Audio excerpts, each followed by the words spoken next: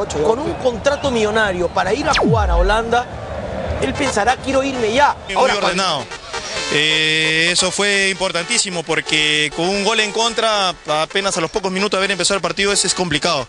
Pero el equipo mantuvo el orden y, y es por eso que sacamos un buen resultado. Estábamos muy mentalizados, estábamos muy, muy deseosos de, que, de, de cambiar esta situación, no, pod- no, se, no se podía, no se podía, pero sabíamos que en cualquier, en cualquier momento podíamos despertarnos y despertamos, despertarnos los delanteros. Sí, Ricky Pérez perdió el, el- el 2 a 0 en, en el primer tiempo, ¿no?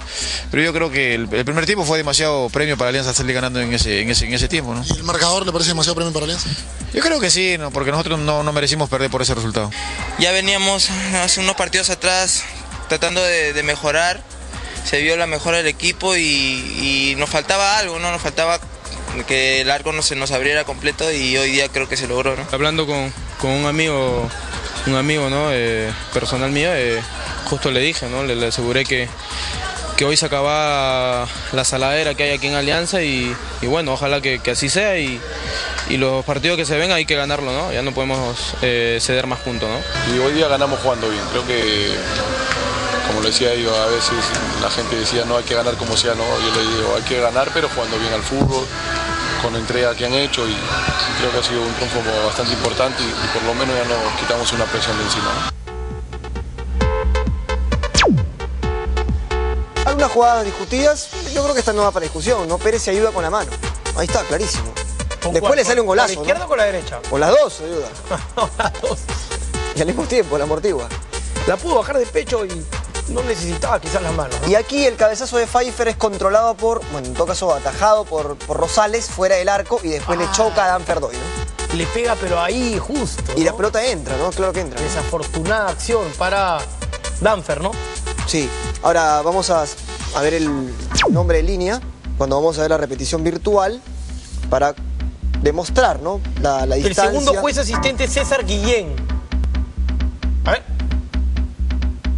El árbitro mucho no tiene que ver. la visión del árbitro es frontal, es muy difícil determinarla. Ahí está Guillén. La pelota entró, claro. Sí, totalmente. ¿Pero cuánto? Sí, no. Por lo menos 20 centímetros, 30. Un poquito más, creo. Un 20. gol clave, Erika. 22 centímetros. Ingresó la pelota, me, me dicen por interno. Creo que me están diciendo una broma. Bueno. ¿Era el rival adecuado para levantarse? Creo que sí.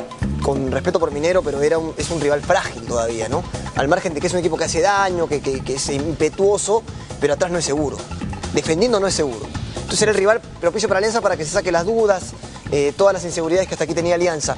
Y quién sabe por ahí, una victoria al equipo de, la eh, de- de Alianza Lima le sirva para encarar con más tranquilidad los siguientes partidos. Ahora, me queda la sensación, Eric, cuando sale a jugarle un poco minero a la desesperada, que desnuda problemas defensivos en Segundo Alianza. tiempo, ¿ah? Sí, Segundo como los mismos que mostró contra Cristal, un rival mucho más este, sólido. Creo que es un tema para reflexionar. No estuvo Jayo en la mitad de la cancha, es verdad. Pero no creo que el tema se solucione con Jayo porque la dinámica de este volante de contención es menor a lo que corría, qué sé yo, hace algunos años. Pero de mitad de cancha hacia adelante, yo creo que el equipo eh, comienza a jugar de la mano de Montaño, como todo el mundo esperaba. De acuerdo, es el momento ahora de la celebración histórica.